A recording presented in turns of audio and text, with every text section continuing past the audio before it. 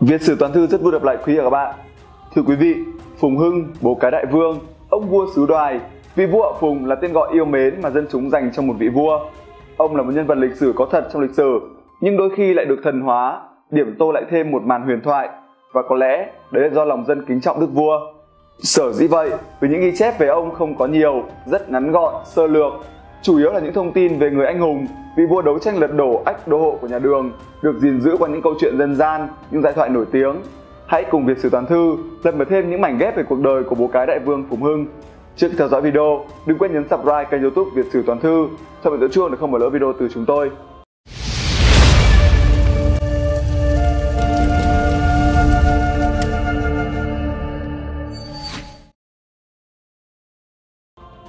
Về tiểu sử và thân thế nhiều nghi vấn Phùng Hưng là một nhân vật lịch sử, điều đó không cần bàn luận.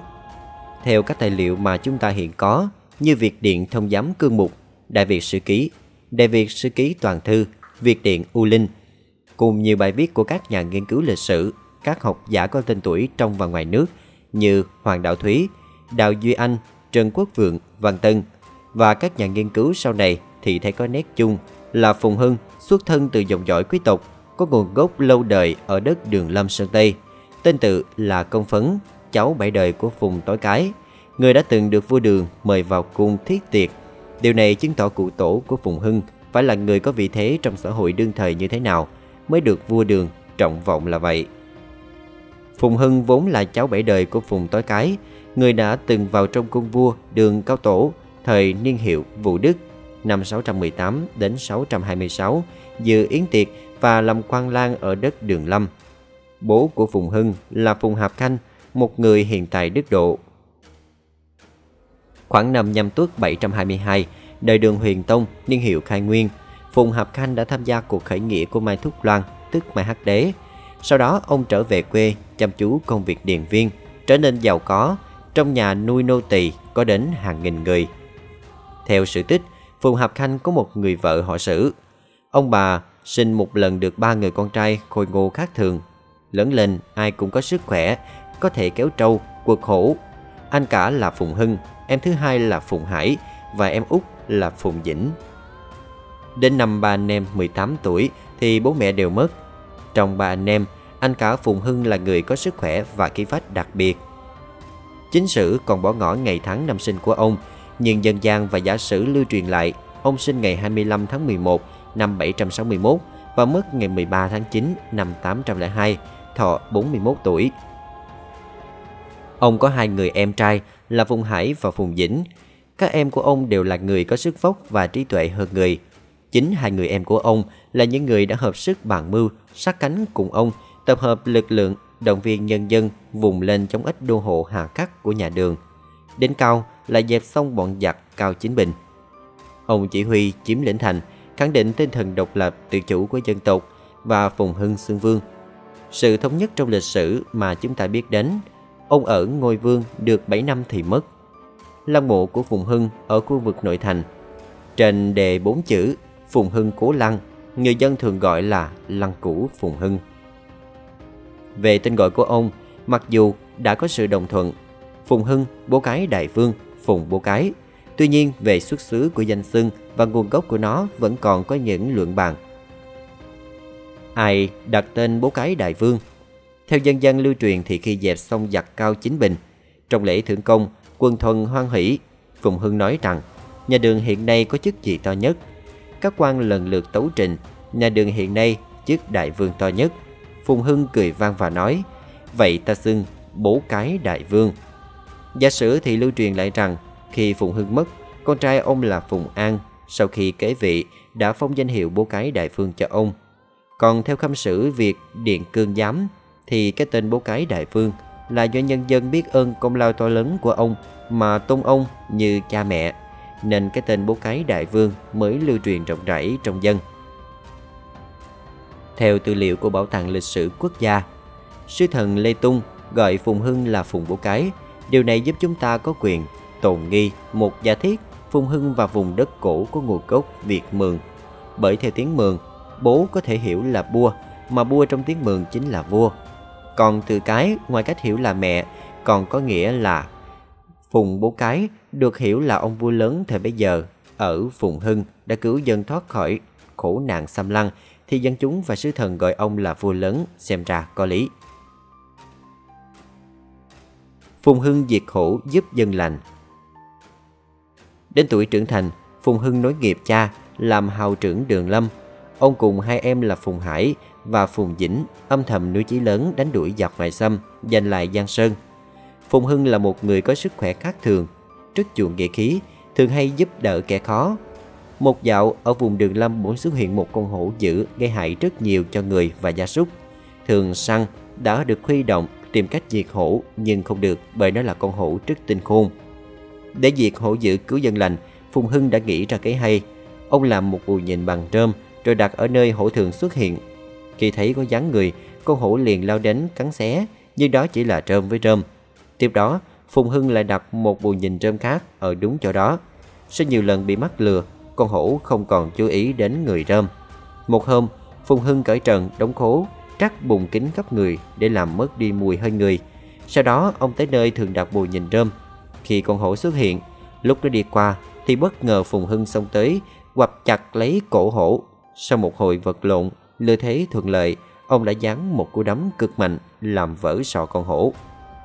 Danh tiếng vị hào trưởng Đường Lâm một mình đánh chết hổ dữ ngày càng bay xa, khiến anh hùng nghệ sĩ khắp nơi nô nức tìm đến tỏ lòng khâm phục và kết thân. Đây chính là cơ hội thuận lợi để Phùng Hưng liên kết, chuẩn bị lực lượng cho cuộc khởi nghĩa lật đổ ách đô hộ của nhà Đường. Năm Tân Mùi 791, cuộc khởi nghĩa do Phùng Hưng giành được thắng lợi. Ông lấy phủ đô hộ Tống Bình đổi làm kinh đô triều đại của mình và được dân chúng suy tôn là bố cái đại vương. Sách Đại Nam Quốc sử diễn ca viết rằng Đường Lâm mới có Phùng Hưng, đã tài kiêu dũng lại lưng phú hào. Cõi Tây nổi việc cung đau, đô quân tôn hiệu tản thao hiệp tình, đem quân thẳng đến vây thành, Đại La thấy bức chính bình hồn tiêu. Nhân phủ trị mở ngôi triều, Phong Châu một giải nhiếp điệu mấy niên, Đế hương phúc trở xe biển, Đại vương bố cái tiếng truyền muôn thu. Vào nửa sau thế kỷ thứ 8, quyền thống trị của triều đình nhà Đường ở Trung Quốc ở Trường An đã bắt đầu suy yếu. Chiến tranh giữa phiên trấn và triều đình mà đỉnh cao là loạn An Sử càng làm cho nhà Đường lụi bại. Uy quyền của bọn tiết độ sứ và đô hộ ngày một tăng, chúng tự ý trưng thu thuế má. Cao Chính Bình, hiệu úy Châu Vũ Định, miền Việt Bắc, năm 767 giúp kinh lược sứ An Nam Trương Bá Nghi đánh bại được một cuộc xâm lược của quân Trà Va ở Chu Diên. Sau đó y được cử giữ chức đô hộ An Nam. Y ra sức bòn rút của cải của nhân dân ta, đánh thuế rất nặng. Năm 766, căm ghét chính sách cai trị của quan lại nhà Đường và nhân lòng căm phẫn của nhân dân. Lợi dụng khi quân lính ở Tống Bình nổi loạn, Phùng Hưng đã phát động một cuộc khởi nghĩa lớn chống chính quyền đô hộ chống lại chính quyền nhà Đường. Khởi nghĩa chống nhà Đường Theo việc sử giai thoại, lúc bấy giờ, triều đình nhà Đường ở Trung Quốc ngày càng suy yếu. Nhân cơ hội đó, bọn cai trị ở An Nam không ngừng tăng cường vơ vét, bóc lột thậm tệ, đời sống nhân dân cơ cực lầm than. Cuộc khởi nghĩa do Phùng Hưng phát động nhận được sự hưởng ứng rộng rãi của người dân từ khắp các miền đất giao châu. Ban đầu, ba anh em họ vùng làm chủ đường lâm, rồi nghĩa quân đánh chiếm được cả một miền rộng lớn quanh vùng thuộc Phong Châu, xây dựng thành căn cứ chống giặc. Phùng Hưng xưng là đô quân, Phùng Hải xưng đô bảo và Phùng Dĩnh xưng đô tổng, chia quân trấn giữ những nơi hiểm yếu. Tướng nhà Đường là Cao Chính Bình đem quân đàn áp nhưng không thể làm gì được. Tình hình diễn ra như vậy hơn 20 năm. Tháng 4 năm 791, Phùng Hưng cùng các tướng lĩnh đem quân vây đánh thành Tống Bình, Hà Nội. Quân của Phùng Hưng chia làm năm đạo do các tướng Phùng Hải, Phùng Dĩnh, Đỗ Anh Hằng, Bồ Phá Cần và Chu tướng Phùng Hưng tiến công vây thành. Cuộc chiến đấu diễn ra quyết liệt, quyết địch chết nhiều, Cao Chính Bình phải vào cố thủ trong thành, lo sợ đến phát bệnh, ốm chết. Phùng Hưng chiếm lĩnh thành trì và vào phủ đô hộ, coi chính sự đất nước. Sau khi mất, Phùng Hưng được suy tôn là bố cái đại phương. Con trai là Phùng An tiếp tục sự nghiệp của ông, nhưng chỉ duy trì được 2 năm thì thất bại, phải đầu hàng giặc. Đất nước ta lại rơi vào ách thống trị của giặc ngoại xâm. Thần tích làng Thịnh Hào, nơi thờ Phùng Hưng làm thành hoàng viết. Phùng Hưng vào thành, chiếm cứ phủ trị mà xưng vương. Không được bao lâu, Phùng Hưng ốm chết. Sau khi ông qua đời, thi hài được an táng tại phía tây đô thành Tống Bình. Đánh giá về công lao sự nghiệp của Phùng Hưng, sách Việc giám thông khảo tổng luận bình rằng Phùng Bố Cái là người anh hào ở đường Lâm, ghét sự tàn ngược của chính bình. Anh em thừa thời trỗi dậy, cứu dân dẹp loạn, bằng đức lập công, có thể gọi là vị vua nhân hậu. Giai đoạn Phùng Hưng Linh Thiên giúp Ngô Quyền đánh giặc Từ lâu, vùng Đường Lâm Ba Vì Hà Nội đã gắn liền với một cái tên rất đặc biệt, làng Hai Vua. Đây là nơi sinh ra hai vị vua vĩ đại cho dân tộc Việt Nam, một là Ngô Quyền với chiến thắng Bạch Đằng lừng lẫy, vì còn lại là tiền nhân của ông, người sinh ra trước đó một thế kỷ, được nhân dân thành kính suy tôn là bố cái đại vương Phùng Hưng. Sau khi mất, Phùng Hưng được suy tôn là bố cái đại vương, con trai là Phùng An tiếp tục kế tục sự nghiệp của ông, nhưng chỉ duy trì được hai năm thì thất bại, phải đầu hàng giặc. Đất nước ta lại rơi vào ách thống trị của giặc ngoại xâm. Theo việc sử giai thoại của Nguyễn Khắc Thuần, sau khi bị mất, bố cái đại vương trước Hiển Linh. Sách Việt Điện U Linh của Lý Tế Xuyên chép rằng Phùng Hưng chính là vị thần đã hiển linh giúp Ngô Quyền đánh tàn quân Nam Hán trên sông Bạch Đằng vào năm 938. Sau khi thắng trận, đích thân Ngô Vương đem lễ vật đến tế lễ, sai chỉnh sửa lại ngôi đền thờ Phùng Hưng. Khi chết, ông được mai táng ở phủ Tống Bình, sau đó mới đưa thi hài về quê hương. Để tưởng nhớ người anh hùng dân tộc, nhà nước đã đặt tên phố Phùng Hưng tại phía cửa đông của thủ đô Hà Nội. Tích xưa truyền lại, sau khi Ngô Quyền mất, Dương Tâm Kha đã nổi dậy cướp ngôi nhà Ngô, truy lùng hoàng tử và vợ vua để sát hại. Bà Dương Hậu, vợ Ngô Quyền, được Phạm Lệnh Công đưa về chi điền chạy trốn. Khi đến vùng đất này, hoàng hậu tìm thấy đất đẹp, lập miếu thờ bố cái đại vương Phùng Hưng để sớm hôm cầu khấn cho nhà Ngô lấy lại được ngôi vua. Lời cầu lên ứng năm 950, Ngô Sương Văn đã lấy lại được ngôi báu và trước quốc mẫu về kinh thành để lại ngôi miếu thiên. Nhân dân thay hoàng hậu thường xuyên thờ cúng cầu ngài phù hộ cho dân chúng được bình an. Đến thời vua Lê Hy Tông năm Chính Hòa thứ năm 1684, nhân dân xây lại ngôi đền bề thế nhất vùng này ngay trên nền đất ngôi miếu cổ.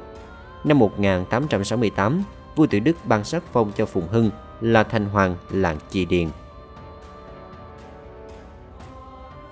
Mối quan hệ ít biết giữa Mai Hắc Đế và bố cái Đại Vương Không chỉ lưu danh với những câu chuyện như đánh hổ mà hai vị vua Mai Hắc Đế và bố cái Đại Vương còn để lại dấu son trong lịch sử dân tộc là một điều thú vị ít ai biết rằng giữa họ có những mối quan hệ nhất định. Cha của Phùng Hưng là Phùng Hạp Khanh từng tham gia cuộc khởi nghĩa của Mai Hắc Đế. Sau khi triều Mai tan vỡ, ông trở về quê chăm chú công việc điền viên, trở thành một người có thế lực lớn. Theo thần tích ở đình làng Hòa Mục, thờ Thành Hoàng là bà Phạm Thị Uyển, quê ở Trang Thọ Sương, quận Nam Sương, đất Đài La. Cha của Phạm Thị Uyển là Phạm Huyên, còn gọi là Phạm Quyên, hiệu là Minh Dực. Mẹ hiệu là Diệu Hoa, tên thật là Phùng Thị Thảo, chị gái của Phùng Hưng. Truyền rằng khi Mai Thúc Loan đem quân ra đánh phủ đô hộ Phùng Hạp Khanh cùng nhiều hào kiệt xứ Bắc đã dẫn theo thuộc hạ tiếp ứng Hà Thành Tống Bình. Quý trọng người anh hùng đã cứu đất nước thoát khỏi ách nô lệ, Phùng Hạp Khanh đã đem cháu gái gả cho Mai Thúc Loan. Bây giờ Phạm Thị Uyển vừa tròn 18 tuổi. Như vậy, nếu theo tư liệu này, thì Phùng Hưng là cậu vợ của Mai Thúc Loan. Ngoài ra, bà Phạm Thị Uyển còn có hai người em trai là Phạm Miện và Phạm Huy. Hai người này sau này đều là các danh tướng trong cuộc khởi nghĩa của Phùng Hưng. Và cuối cùng, cuộc khởi nghĩa do bố cái đại vương lãnh đạo được coi là sự tiếp nối sự nghiệp của Mai Hắc Đế. Có câu đối ca ngợi ân đức, uy vũ và công tích của ông có nội dung như sau. Thành chấn Lê Đường, Thuận Đức Niên Giang Uy Bắc Khẩu, Vân Thừa Mai Đế, Phong Thành Phủ Lỵ Thái Nam Bang, nghĩa là trung động nhà đường nằm Thuận Đức lừng oai kinh giặc Bắc, nối vận vua Mai, giữ phong thành, sở trị vững trời Nam. Theo Lê Trung viết trong Việt Giám Thông khảo Tổng luận, Hùng Bố Cái là người anh hào ở Đường Lâm, ghét sự tàn ngược của chính mình. Anh em thừa thời cơ quật khởi cứu dân dẹp loạn, ban đức lập công, có thể gọi là bậc vua nhân hậu. Tiếc rằng con trai là An không giữ được cơ nghiệp, do phá cần lập nên, rồi đầu hàng triệu xương. Tuy có độ ăn hàn là bề tôi mưu việc nước cũng không cứu vãn được sự bại vong của họ Phùng. Lăng mộ Phùng Hưng ngày nay nằm ở đầu phố Giảng Võ, quận Ba Đình, Hà Nội. Đền thờ ông được dựng lên ở nhiều nơi như quê hương Đường Lâm, đình Quảng Bá Tây Hồ, đình Chiếu Khúc Thanh Trì Hà Nội, đình làng Đào Nguyên, xã An Thượng, huyện Hoài Đức, ngoại thành Hà Nội. Với lễ hội được tổ chức vào ngày 10 tháng 2 âm lịch hàng năm.